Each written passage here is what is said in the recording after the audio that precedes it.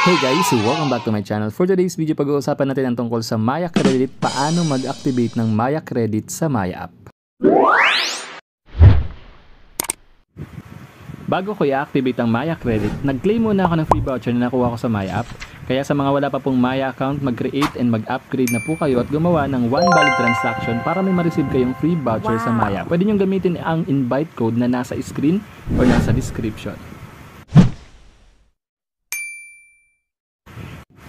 Ang pag-create ng account at pag-verify ay isa sa mga pinaka-importanting requirements para makapag-loan ka sa Maya Credit. Kasama na dyan ang paggamit ng kanilang mga services tulad ng cash in, buy load, send money, bank transfer, pay with QR, Maya Savings and Maya Crypto.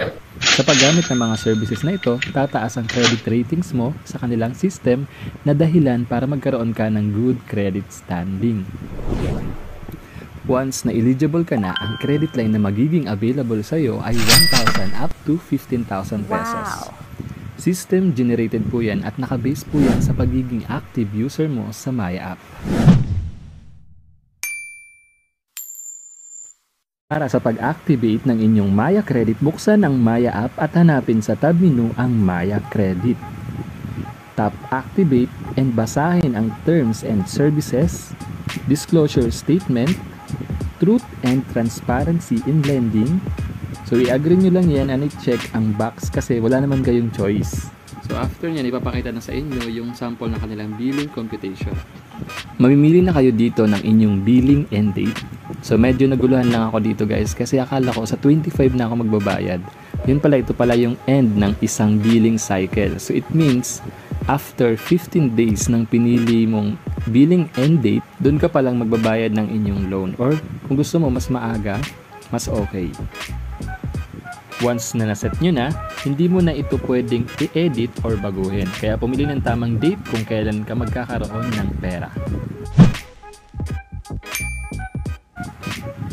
Tap confirm kung nakapili ka na ng inyong billing end date tap Maya Credit, then wait mo lang yung dadating na OTP code. So, remember na wag i-share yung mga OTP code na uh, nare-receive nyo or wag ipapaalam sa iba.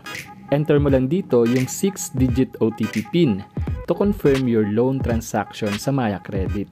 So, wait mo lang, then may marireceive na po kayong text message from Maya na approve na po ang inyong loan sa Maya Credit. So makikita nyo naman dyan guys na 11,000 yung Congratulations! Ko. Bali, ang hiram lang ako dito guys ng 5k kasi yun lang naman yung kailangan ko pambayad sa boarding house. So click mo lang po yung transfer to Maya Wallet kung magkano yung kailangan. Tapos may marireceive po ulit kayong text message na uh, na-receive nyo na yung inyong 5k sa inyong Maya Wallet or yung inyong 5k na loan sa inyong Maya Wallet.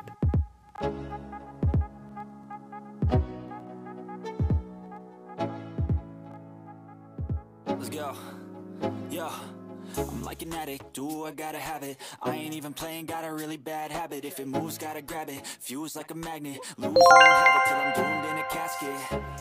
I ain't playing, got a weird mind. If you work 8 hours, I'ma work 9 If the shit tastes sour, you should taste mine. I'ma stay in power for a long time Get up, nah I ain't a quitter. Toss me the ball, I'm a really big hitter. Big picture, I'm a straight killer. Rising the song to the highest bidder. Got juice, got gas, I'ma move fast. New shoes, new tracks, like who's that? I'm new, come back, better than last Yeah, it's a new me, never gonna look back. Never gonna look back. Cause damn, I was built to last. You move